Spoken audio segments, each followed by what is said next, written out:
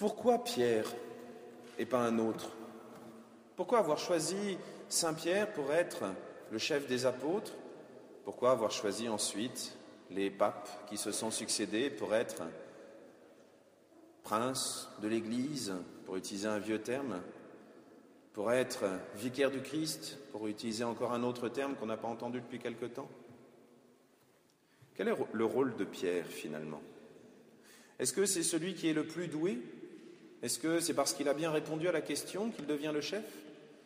Mais dans ce cas-là, il y en aurait des centaines que l'on pourrait mettre à la place du pape Bon, peut-être pas lorsque c'était Benoît XVI, parce que là, pour réussir à rivaliser, il fallait quand même se lever de bonne heure. Mais n'importe quel pape demande des conseils en permanence, a besoin de théologiens pour l'entourer, et même certains, de temps en temps, pour le rectifier.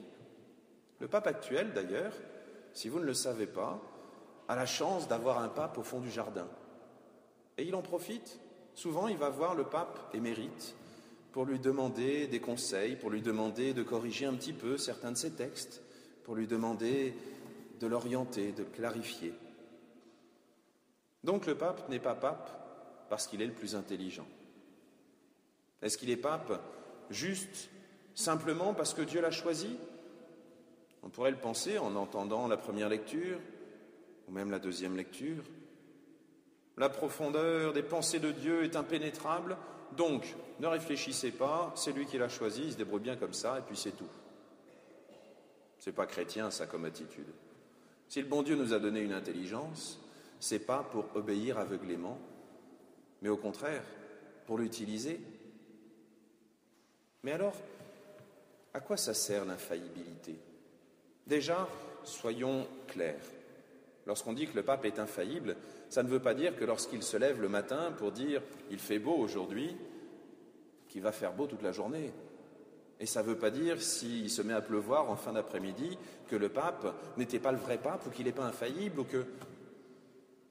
ou qu'il aurait dû dire elle fait beau plutôt qu'il fait beau. Mais alors c'est quoi l'infaillibilité? L'infaillibilité, c'est lorsque le pape, en tant que pape, et lorsque solennellement et clairement il définit un dogme, et qu'il l'offre à toute l'Église comme vérité de foi, uniquement lorsqu'il s'agit soit de la foi, soit des mœurs, c'est uniquement là que le pape est infaillible.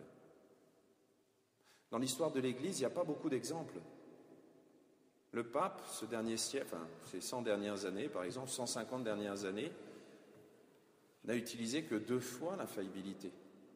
Une fois pour dire que Marie était l'Immaculée Conception. Mais bon, la Vierge Marie s'est empressée de venir à Lourdes pour dire à Bernadette Je suis l'Immaculée Conception.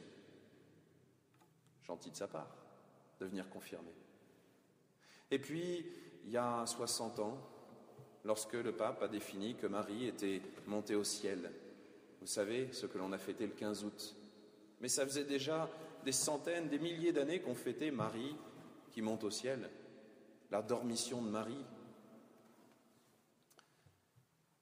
Qu'est-ce que le pape a de spécial? Il est celui que Dieu a choisi pour nous guider, pour nous affermir dans la foi. Dans la première oraison de la messe, qui est très belle, nous demandons à Dieu d'être ancrés en lui au milieu des changements de ce monde. Et heureusement qu'il y a un pape pour nous sortir un petit peu la tête de notre nombrilisme. Vous savez, cette ère du temps, cette mode actuelle de dire c'est mon choix. Et parce que c'est mon choix, eh bien ça doit devenir vérité d'évangile. Et le choix de chacun devient un dogme aussi intouchable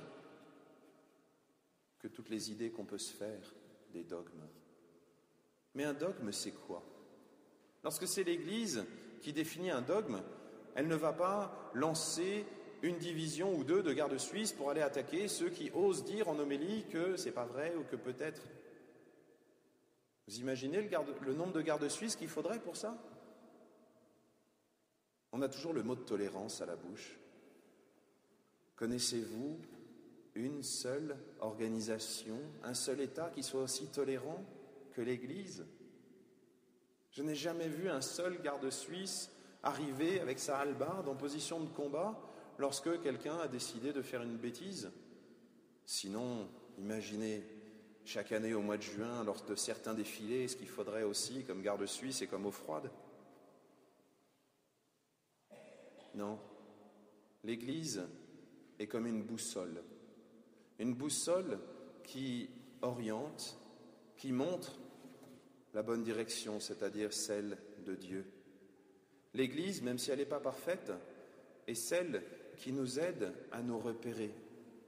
Humainement parlant, c'est déjà indispensable. Même à l'armée, ils ont compris qu'il fallait des chefs.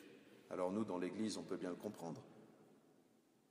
Mais c'est plus qu'une réalité humaine.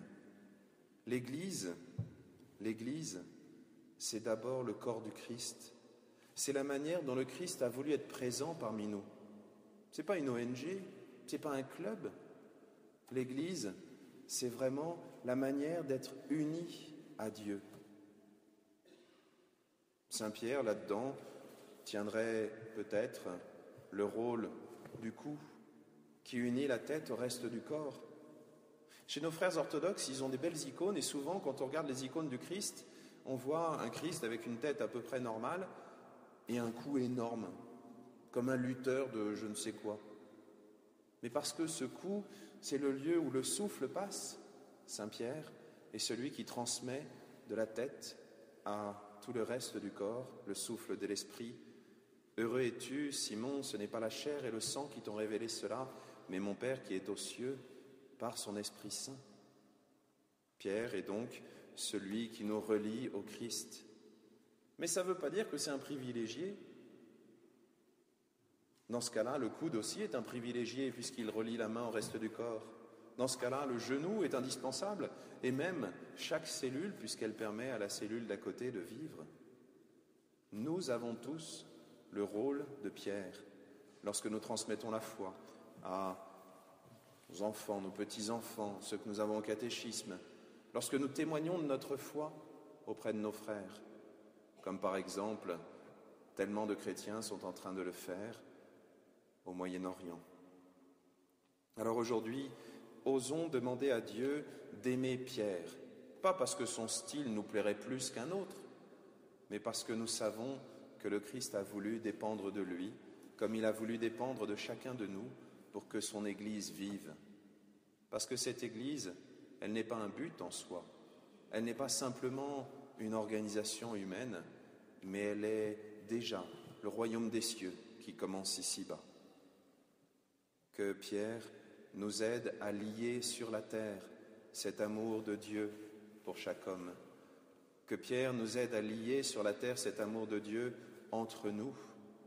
Que Pierre nous aide à lier sur la terre pour que dans le ciel, nous soyons liés à Dieu absolument, totalement, éternellement.